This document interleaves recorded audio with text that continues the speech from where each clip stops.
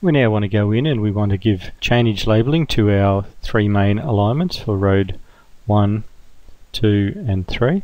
So just turn off all your models and turn back on alignment road 1, alignment road 2 and alignment road 3 and hit select.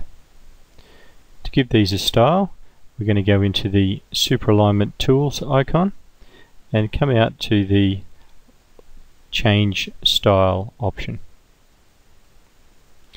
We can then select view number one. The style we're going to give them will be full and we'll just set the major interval to 100 and the minor interval to 20 and click on change. If you now zoom in you can see our chainage labels are turned on.